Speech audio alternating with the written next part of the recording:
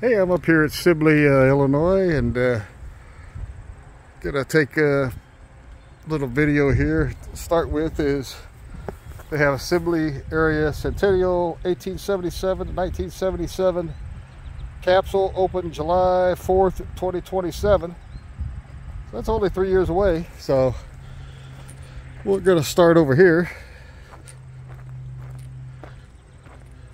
with a Michael L. Sullivan. And here, let's see, bought 40,960 acres in 1866. Next 10 years, developed the land. He and his workers broke the uh, sod, drained wet prairie land, hired 250 men of Swedish German descent, lived in boarding houses. Mr. Sullivan was the commander-in-chief. He had a brigadier general, 12 captains, three lieutenants for each captain.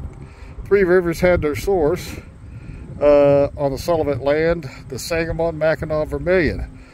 Near a grove of about 150 acres of bur oak trees, he built his home, named it Burr Oaks.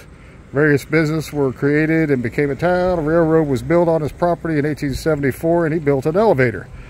A new town was laid out by the Wabash Railroad in 1877.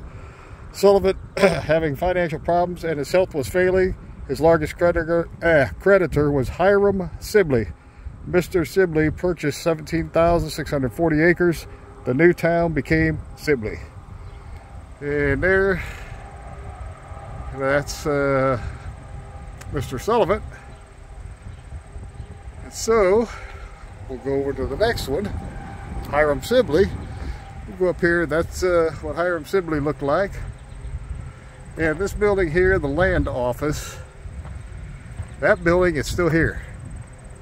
It's down at the end of the uh, the street. Let me see if I can turn around here. Well, it's covered by trees. This is the corner store here. Uh, the land office building. Uh, there you go. It's that last big tall brick building there at the end of the block. So, we'll see what's uh, going on here. Hiram resided in Rochester, New York. He was a successful banker, real estate dealer, explored the telegraph industry, with Ezra Cornell and Samuel Morse. Wow.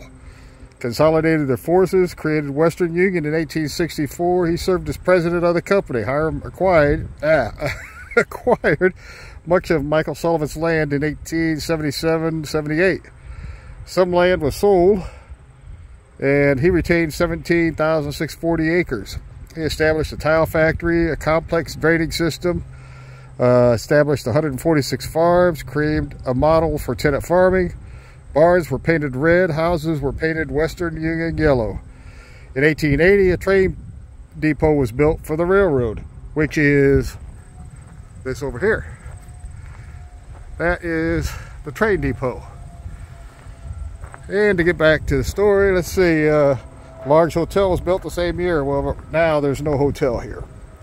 He established improvements to the community with the number of dwellings, school churches, a large seed barn, a flax mill, stores, and his business office, Hiram Sibley Land Office.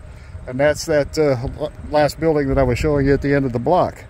After his death, his grandson Harper Sibley took the reign of the estate. Harper had one of the largest corn cribs built in 1910.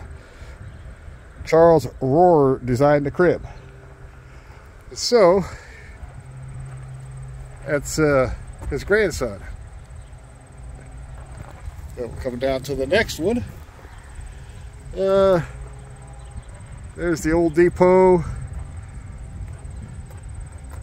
Main Street looking south.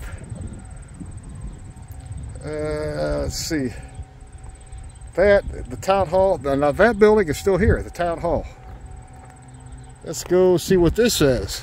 This says, Sibley grows into a town. Sibley began as a community thriving from agriculture and businesses to serve the people of the community. Oates Elevator, Old Blue, was built in 1898. Mr. Sibley began erecting general wooden stores. Town grew to have a drugstore, photography shop, meat market, cafe, blacksmith shop, and a flax mill, two ice houses, and more. The Sibley House, a hotel, was built in 1880 next to the railroad in 1927. Dr. Absher had his office on the left side. Across the highway, Lincoln Street was a factory addition for canning and tile factories. The Shell pipeline was also located there in 26. First restaurant, the Star Cafe, was opened by Mrs. Sleazer. What, how would you like to have a cafe ran by a Sleazer? okay. Uh, entertainment company stayed at the hotel and performed at the Opera House. Sibley Bank was built in 07, 1907, located in several buildings. The bank closed in 32 during the Depression. The Sibley Depot was built for the Wabash St. Louis Pacific Railroad. It burned in 1903, but was repaired to look like it is today. Township Hall was built in 06, 1906, suffered through a tornado in 1927. It housed the first free movies, had graduation ceremonies, and served as a gym until school the school built one. The community has seen many businesses come and go. We all have pride as to what the village was and has become. Now we have the schools. This little uh, Lutheran church, uh, it's kind of still here. It doesn't have this stuff on, on the side here. It's just the front part. And I think the rest of this stuff is gone. So let's see what the, the story says on that. Schools, the lake, and churches. Yeah, there's a lake here. First school built in 1884, torn down in 1918. The uh, a new school was built in 1917 with a three-year recognition uh, for a high school. In 27, recognition was given for a four-year high school. Gym was added in 1940. The last uh, last class to graduate was in 1993. The lake was named Lake Bickett for Mr. Sullivan's farm manager. Later, it was named Sibley Lake. The lake has been used for the ice houses, enjoyment of fishing, boating, ice skating, and swimming. The 4th of July is celebrated there with a large celebration. The Methodist Church originated in Burr Oaks in 1873.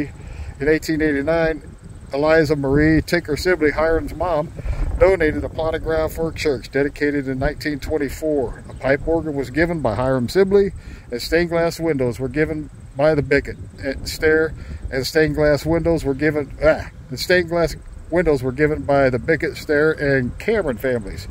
It was torn down in 2010. The Swedish Lutheran Church, organized in 1877, built in 1891, sold in 1928. The German Lutheran Church was built in 1890.